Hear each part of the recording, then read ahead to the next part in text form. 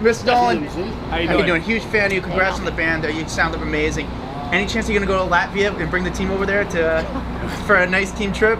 Uh, you know, it's not impossible. Maybe in the you know in preseason. I mean, but that's that's up to the commissioner. For sure. Has but with having Kristaps, who's been amazing for the organization, has that maybe like opened up for you to maybe look at more players in Latvia at all?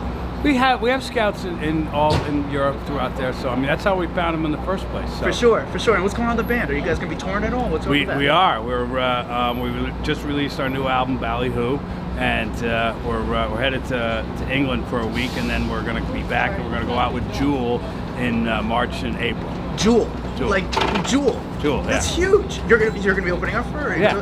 That's pretty insane. Good for you. Well, congratulations, Thank you sir. very man. I much. wish you nothing but the best. Thank you so right, much for take everything.